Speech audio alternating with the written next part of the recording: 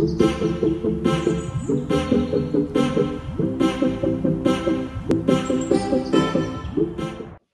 guys, it's Vinny. Um, I just got my AG Autogen jumper cables in from Amazon. I've been waiting a good amount of time for these because I really needed jumper cables. And it took me a while to find out which ones I wanted, but these ones clearly won. So, I'm going to show you guys what comes in this box. You got your heavy duty jumper cables here. These are going to last you guys your whole lives, I promise. They're really good quality.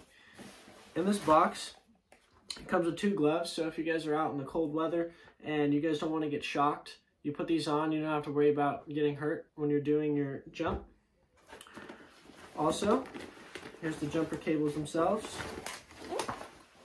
So they're kind of heavy, but they're really good quality. They're 25 feet long. So you take the red, you put them on the positive, and then you take the black, and then you put them on the negative. Um, it doesn't get better than this. I promise you guys, these are the best jumper cables you'll ever have in your entire life. Also, it comes with this light. You do need four uh, AAA batteries for this to work, so I can't show you how to turn it on, but this is there so that you guys can see in the dark. And let's get ready and go outside so I can show you guys how to install. Alright guys, so now I'm going to show you guys how to install these jumper cables. You'll need two vehicles, but I only have one right now. So let's say your car's dead, you need to give it a jump. First step is you want to walk over here, open up your hood. And if you're lucky like me, this will stay up and you don't have to worry about keeping it up with one of those little things. And then you need to find your car's battery. So over here, you have your positive side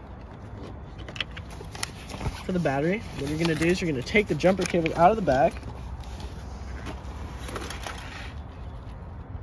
Like so.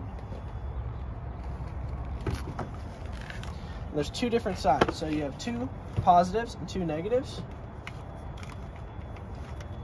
Just wanna undo that.